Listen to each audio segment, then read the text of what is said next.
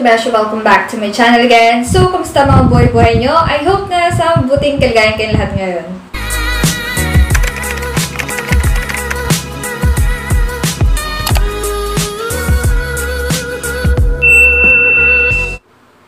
Uy. Uy, what's up mga kabesyo, kabesyo?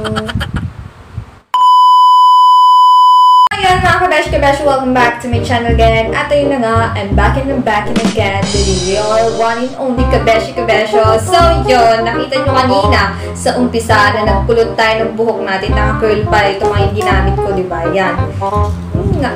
Ito yung ginamit natin mga curler sa buhok natin kanina.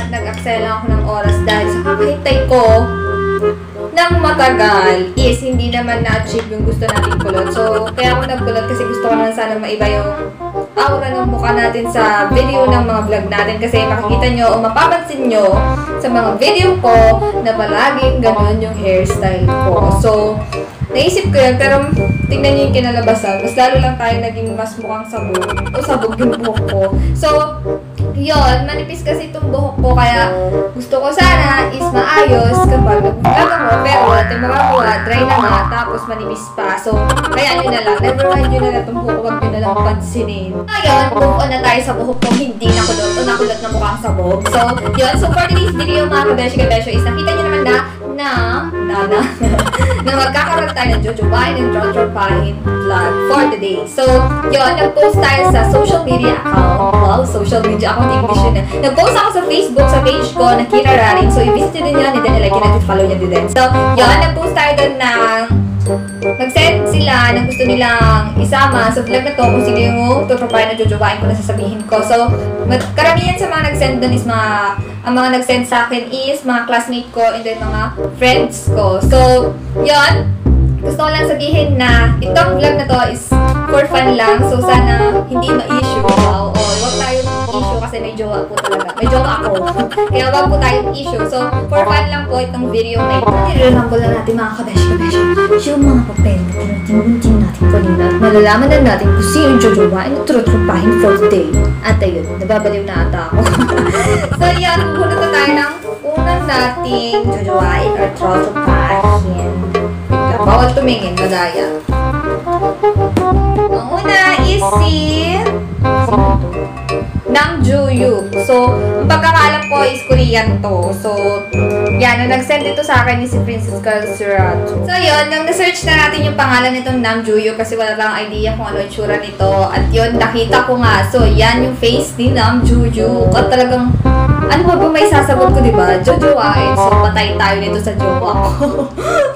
Jojowain, syempre, tingnan nyo naman, napaka parang perfect ng face niya, napaka gwapo, di ba? Ang tangos ng ilong, puti. Kaya siguro hindi ako magtataka sa mga K-pop fans na talagang napaka-supportive sa mga K-pop, di ba? Kasi tingnan nyo may tsura, napaka, mm, jo, napaka-jowable. So, yun, jojowain ko to. So, next naman, alabat ko ba nali? so, yun, tapos na to. Next na magbunot natin. So, yung una is na jowa na. na jowa na. Patay talaga tayo sa jowa natin nito. So, the next is si Russell. So, si Russell is a marketing student na kagaya ko. So, kaklase ko to. At na nag-suggest ito is yung mga classmate ko. So, shoutout ko na lang kayo mamaya. So, si Russell. So, si Russell is... Ito, makita niyo picture niya dyan.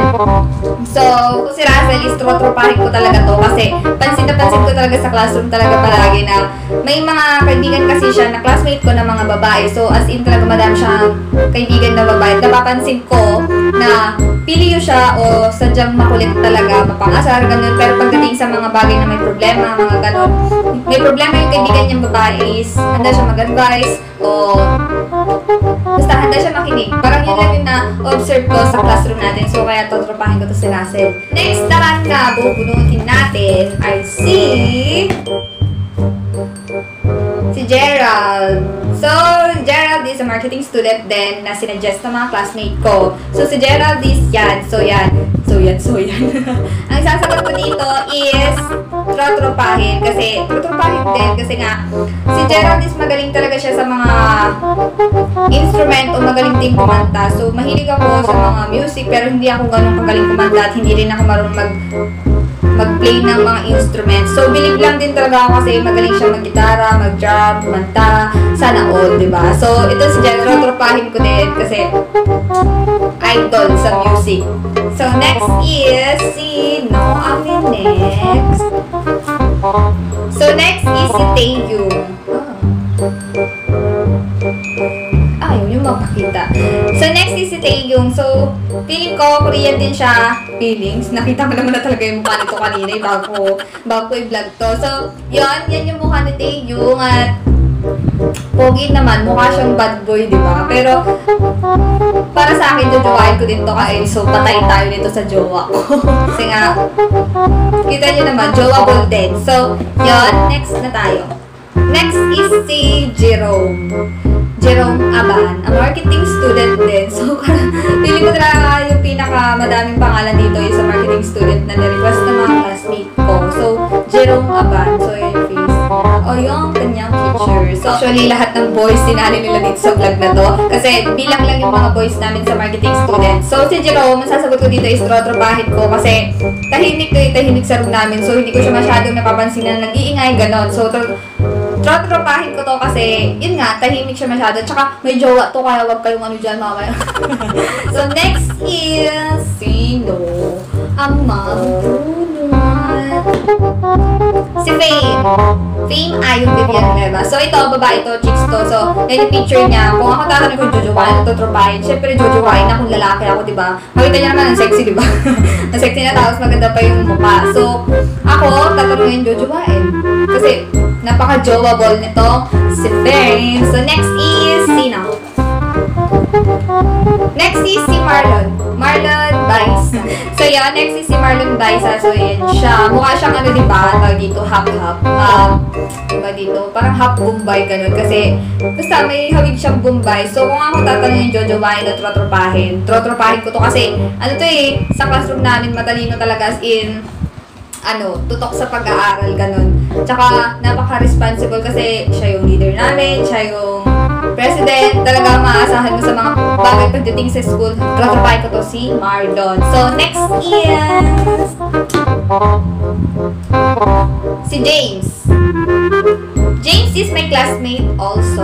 So, si James is yan, napakataos ng ilong nito. So, kung tatanungin ako kung jojowain o trotropahin, trotropahin ko din to. So, syempre, trotropahin ko din to kasi nakahawig ko yung mukha niya sa mukha ng kapatid ko na sumunod sa akin. So, papakita ko yung both side.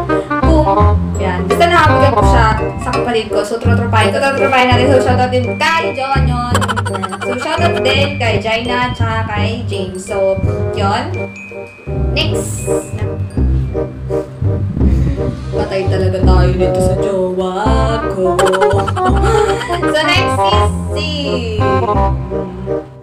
So, yun. Ang next na nabunod natin is si Kevin. So, si Kevin is pass, pass, pass. O nakaraan na. Alam niyo naman na yun mga kabeshi-kabeshi yung word na pass o nakaraan na. At ang nag-send ito is yung napakagaling kong kaibigan na nang aasar lang talaga ata. So, yun. Hindi ko alam kung ilalagay ko yung pictures niya dito. Ilalagay ko yung picture niya dito kung ilalagay ko ba talaga.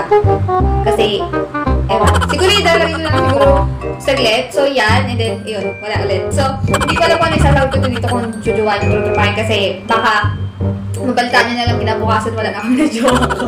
so, yan. Ang isasagot ko na lang siguro dito is... Ang hirap naman sagutin nito. Nakaraan na kasi to. Bakit pa kasi kailangan pang balikan? Hindi na dapat natin naalala yung mga nanakit sa atin dati. Echos! so, yun. Ang sasagot ko dito is trotropahin. So, yun. Siguro, mas maganda na lang na kaibiganin natin yung mga nanakit sa atin dati na mapatawad tayo, di ba? Forgive those people who hurt you. Wow. So, yun. Next na tayo. Tara! Daniel Padilla. So, si Daniel Padilla is para din siyang ideal guy ng karamihan ng mga kababae, kababae? Karamihan ng mga kababaihan sa Pilipinas or siguro sa ibang mga bansa din kasi medyo jowable din to. So, ang sagot ko dito is jojowan ko natin. I sing. Eh, patay talaga tayo. Next is, is Tyrese. So, si Tyrese is a marketing student din na classmate ko. So, ang sasagot ko dito is trotropahin ko. Kasi pareho sila ni Marlon na matalino at napaka-responsible na lalaki. So, trotropahin ko si Tyrese kasi magaling mag-explain. Talagang mapapabilib ka kapag nag-explain siya kasi English speaking. So, trotropahin ko si Tyrese. So, next, ayo. So, next is, sino? Si Sean. So, si Sean is classmate din namin sa marketing student na nanggaling sa ibang course na kalilipat lang ng nakaraang semester. So, siguro si Sean, trotropahin ko din kasi medyo tahimik siya. Hindi ako mahilig sa tahimik kasi mahilig ako sa maingay. so, yun. Next, next, next, next, next, next, next.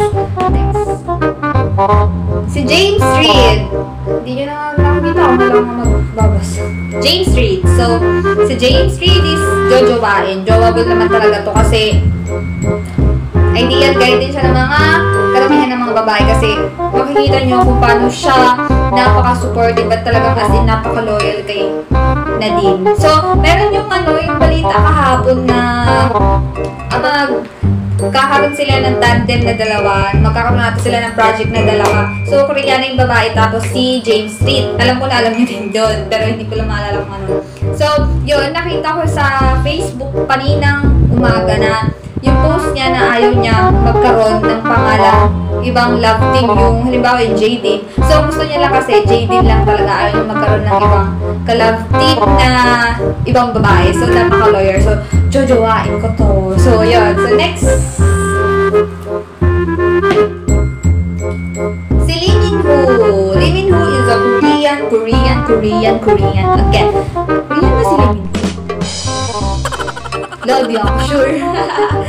pero ito, si Lee Min Ho is gwapo din. Pero medyo tanders na. Pero mukhang hindi tumatanda, di ba? Kasi napakagwapo pa din. So, sabi ko dyan, jujuwain ko siya. Next, next.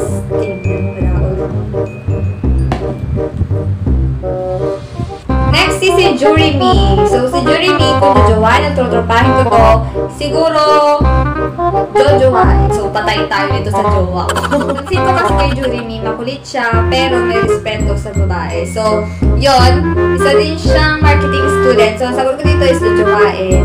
So, next, si Carlo. Ang pinaka, pinaka, pinaka, Sige na, pinaka-poking daw sa marketing student. So, agree pa kayo dyan mga marketista.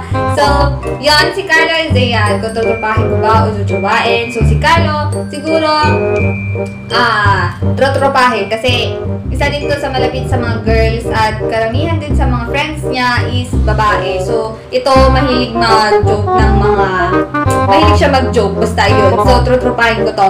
So, shout out sa'yo. And then, shoutout pala sa inyo ni Marjorie Tudawan. so, yun. Ang next naman natin ay si... Si Kyo. Ki Han. So, vlogger to. At ito yung... Hey! Hey! Hey! What's up boy? so, yun. Si Kyo siguro jujuwain kasi napaka ano nito eh. Masayahin. Tsaka ang lakas ng trip nito kasi ang kulit-kulit na lalaki nito. Pero bagay sila ni Pam talaga, promise. So, next is the Jamil. So, siguro tinutukoy dito yung Jamil. Siguro yung dalawa na siguro banggitin natin. Si Maring Camille at saka si Jason. So, ba't si Camille, jojowain ko kasi ang ganda talaga, ang ganda ni Jamil, ang ganda ni Jamil, ang ganda ni Maring Camille kasi natural lang. Basta jojowain ko siya. And then si Jason naman is jojowain din kasi ano eh, ito dito, parang ideal guy din siya kasi napaka-protective niya, napaka-supportive niya sa girlfriend niya. Makikita niyo naman sa mga vlog nila, sa mga post nila, as in, parang napaka-totoo lang nila. So, yun, jojowain ko silang dalawa. Nabubunutin natin ay si Aga. Aga sing. Charot. So, ah, si Aga sa Jaika. So, yun, siguro ang gagawin ko dito is trotropahin ko. Kasi, basta, trotropahin ko to. Pero, parang ideal guy din siya ng mga babae kasi napaka-sweet niya sa girl niya. So, last na to. No, last. Si Clark. So, itong Clark, hindi ko ito kilala. Sagot ko kay Clark is both. Doon why nagtotropide ko din. Kasi hindi ko talaga siya mahanap. Kasi hindi ko alam kung sinong Clark. So, yun.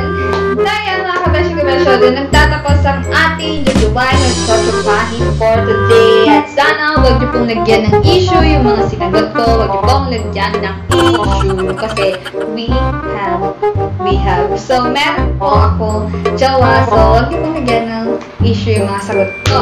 So, bago natin tapusin itong video na to, is mag-shoutout muna tayo sa mga nag-send ng mga name na gusto nilang ipa-jowa or ipa-tropa sa atin. So, so yun, mag-shoutout muna tayo. So, shoutout nga pala kay Catherine at Don, Geraldine, kay Jaina, Syra, Faith, um, Marjorie, Crystal Ann, and then Faith Ayu, then kay Russell. So, shoutout sa'yo and shoutout din sa kanyang mga katoto. And then, yon pa? Kay Genesis de Guzman, uh, kay Regine, kay Regine Grace Bernabe, and uh, shoutout sa inyong lahat ng marketing student. And thank you, thank you so much sa mga nakapag-participate na mag-send ng mga name na gusto nilang ipa-jowa or ipa-tropa dito sa vlog na to. So, thank you so much po talaga. So, ayan, thank you for watching this video mga kabesh-kabesha. And don't forget to subscribe and like my YouTube channel at pindutin yung call notification bell para mag-notify kayo sa mga susunod na upload